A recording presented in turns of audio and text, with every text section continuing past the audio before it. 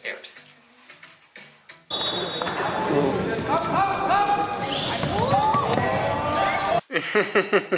det går bare stort svin. Godmorgen, lille mand. Er du frisk i dag? Er du frisk i dag? Hvordan er humøret? Ved du, hvad vi skal i dag? Jeg ved ikke, om folk kan se det, men du har fået lange hår. Så vi skal lige have klippet... Øh, vi skal... Åh, åh, åh. Hvad du laver? Med dit fedte... Hvad du laver? Hvad du laver? Så vi skal have klippet dit lille hår i dag. Klippet. Lille pandehår. Ja. Vi skal have klippehår. Klippe lille hår. Eller er det dovendyr, der skal klippe dig? Er det dovendyr, der skal klippe dig?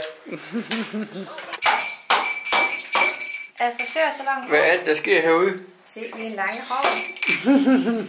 Det er første gang, du skal klippes nogensinde. Du har fået så lange hår. Se hvor langt hår det her. Helt ned i øjnene. Hvad Altså, det det- gør helt ned i øjnene. Det er vel bare pandehår, ikke?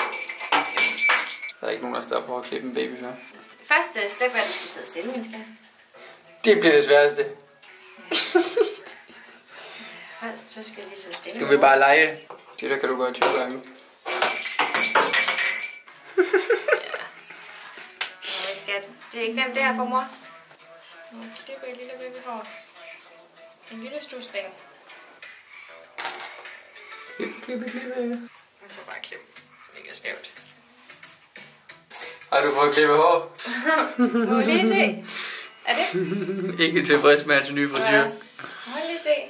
Skal det være lidt kortere måske? Jamen, du ligner jo dig selv bare for en måned siden. Så bliver jeg klippet. Åh, oh, det er klart, det er meget fint. Du klarer det så godt, min dreng. Så dygtig. Hvor er du da bare flot fyr. Jeg siger, nu kan du se noget igen. Ja, bare, bare, bare. Mor er god frisør. Det er okay. Det kan være, hun skal have nyt arbejde som frisør. Du kan lade med kamera. Ja, oh, væk med det kamera. Væk med det kamera. Ny frisør. Ny titel. Sådan. Ny ting på CV'et. Det kan man se. Jeg har klippet dig før, så. Du har klippet mig før. Ja, så en skat. Så Ja, du var så dygtig. Du var så dygtig. Så Ej, ikke fint hår. Var det det? Så. Så. Du var da så dygtig, var du. Godt, min dreng. Så blev han klippet. I dag skal jeg faktisk spille øh, futsal kamp. Jeg har slet ikke spillet i ligaen endnu på grund af skader, så det sker jeg i dag. Hvor meget jeg kommer til at spille, det aner jeg faktisk ikke. Det kommer I til at se lidt øh, senere. Klokken den er det dårlige telefon.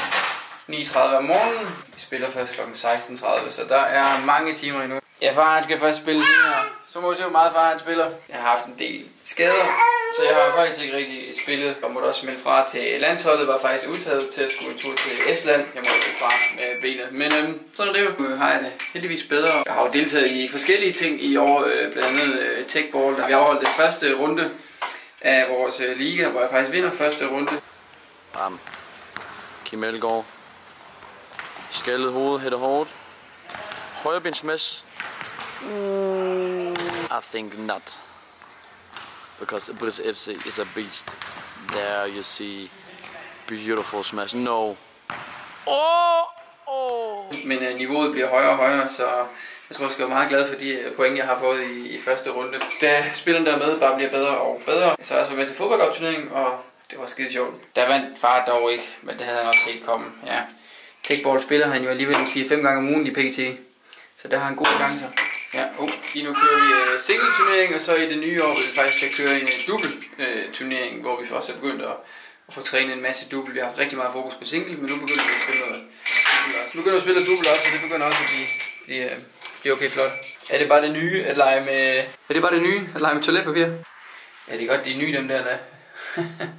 Ellers er det altså ikke særlig lækkert, det du har gang i der. Smager den godt. Og så er jeg faktisk inde på brisshoppen.dk fået flere produkter, eller lige nu er der kommet en streetbolt op, som vi har fået 50 styks hjem af, så hvis man skal nå at have fat i en øh, ind inde på vores shop, jamen så skal man øh, måske skynde sig lidt, for lige pludselig kan de være, være væk, øh, og lige pludselig kommer der også øh, Black Friday, og vi får nogle nye ting ind til, til jul, så nogle gange skal man være, være hurtig, men øh, der ligger altså 50 bolde derinde, eller det passer faktisk ikke, fordi der er faktisk blevet solgt en del af dem allerede, så der er faktisk færre bolde derinde. Det er en øh, uh, streetbold, som man bruger til at spille med på gaden og lave tunneller med. Øh, dem har vi fået ind på, på shoppen, ja, brisshoppen.dk, der kan I altså støtte hele Brise FC-projektet og få fat i merch og alt muligt andet. Udover shoppen, så har vi også briseakademiet.dk, hvor vi faktisk øh, har billetter til vores øh, Brise-dage, som er nogle dage, hvor vi øh, kommer ud, nogle spillere fra Brise FC og laver alt muligt forskelligt.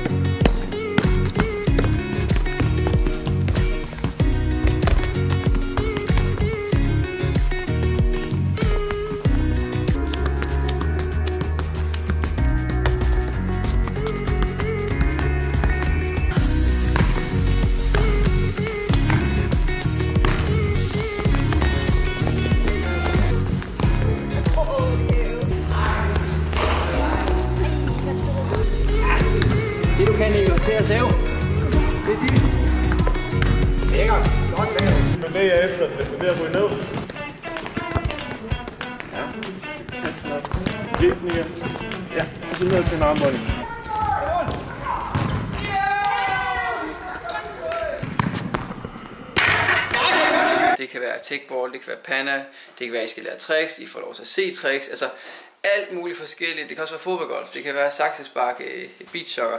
Der kommer til at ske alt muligt øh, forskelligt, og det har vi faktisk åbnet op for en i øh, Grindsted i øh, Jylland, hvor øh, man nu kan købe billetter til øh, den dag. Der er allerede solgt en del af billetterne, så hvis man skal nå at være med, så skal man altså øh, skynde sig, for der er kun et begrænset antal billetter. Men det er altså inde på briseakademiet.dk, der ligger et øh, link ned i beskrivelsen, så kan I komme direkte ind og få billetter til øh, Grindsted arrangementet. Hvad griner du af? Hvad griner du af? Så hvis du mangler en øh, julegave, eller du er en voksen, der ser med og gerne vil give det til øh, sit barn, jamen øh, så er der altså en god mulighed for at komme ud og møde os og få spillet fodbold på alle mulige forskellige måder. Så er klokken ved at være køretid, det vil sige, at vi skal køre ud til hallen øh, lige om lidt. Jeg har taget øh, Chili med, som kommer til at filme lidt, så I får lov til at se lidt fra, fra kampen af. Jeg tror også, kampen bliver streamet, så jeg kan nok også hente kampen den vej. Jeg tror bare ikke, kvaliteten er så god øh, der. Jeg skal spille for klubben Futsal Gentofte, og det bliver faktisk min øh, debut i ligaen for mit nye hold. Øh, nu må vi se, hvor meget jeg kommer til at spille den her sæson.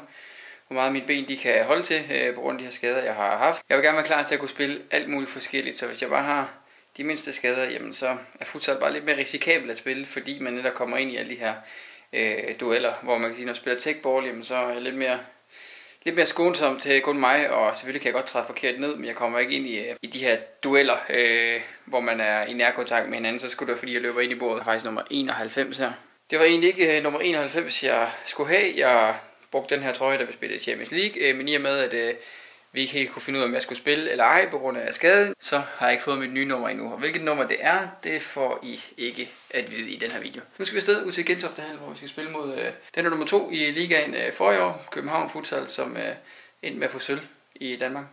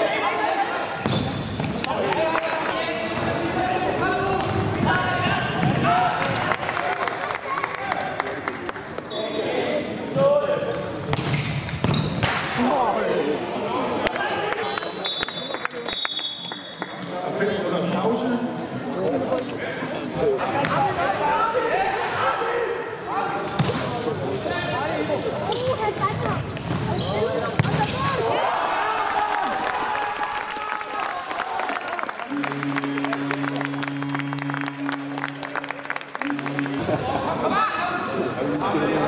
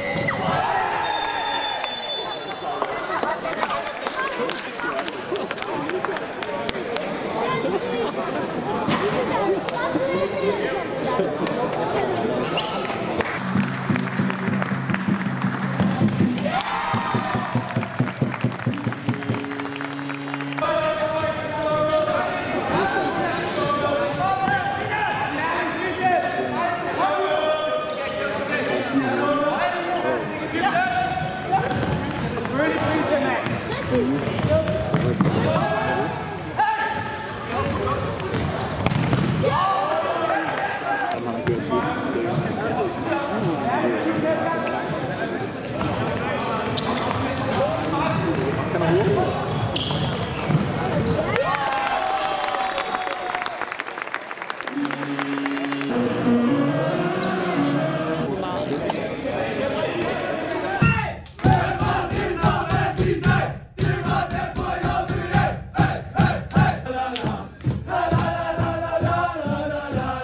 Så blev vi færdige med kamp, og øh, det gik jo rigtig godt. Vi vinder faktisk øh, 10-2, og resultatet kan godt nogle gange øh, snyde en lille smule, men vi spillede faktisk øh, rigtig godt øh, i futsal. Hvis man først kommer en del foran, så kan det andet hold selvfølgelig godt begynde at satse lidt, og så kan det godt gå helt galt til sidst. Og vi spillede faktisk mod dem, der blev nummer to øh, sidste år. Så, men sæsonen er jo ikke slut, og det er et rigtig godt hold. Øh, de har fået en del nye spillere, det kan være, at de også lige skal lære at spille sammen, mange af dem.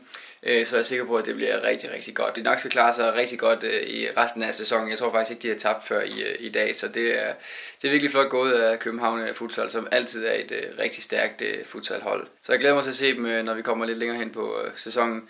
Jeg spillede faktisk lidt mere, end jeg havde regnet med. Jeg kommer ind i første halvleg efter 10 minutter. Jeg havde egentlig regnet med, at jeg først skulle spille i anden halvleg, og får så lige et skift i første halvleg, og to-tre skift i øh, anden halvleg. Men jeg formår at lave tre assist, og score et øh, mål, så tager i betragtning af, hvor lang tid jeg spillede, så er det egentlig øh, helt øh, okay, og formen var okay. Jeg kunne godt mærke, at jeg var lidt træt øh, i et par situationer, når jeg skulle løbe øh, mange af de her sprints, men udover det, så gik det faktisk øh, rigtig, rigtig godt, og er godt tilfreds med min præstation. Så fedt, at vi øh, tog øh, sejren. Det betyder meget øh, i forhold til den samlede øh, stilling. Vi lige på så bliver vi jo parret med Vestligaen og så skal vi jo dyste mod hinanden øh, om det danske mesterskab. Men øh, jeg håber, I har nyt at se med. Husk selvfølgelig at like videoen og abonnere på kanalen. Og så gå ind på briseshoppen.dk, hvis I vil fat i Brise Merch og Brise FC Merch, fodbold og alt muligt øh, forskelligt. Og så ind på briseakademi.dk, der har vi selvfølgelig de her billetter til vores øh, Brise-dage, hvis I kunne tænke jer at komme ud og, og spille lidt fodbold sammen med os på alle mulige forskellige måder. Nyd dagen, ha' det godt, og så ses vi bare i den næste video. Hej.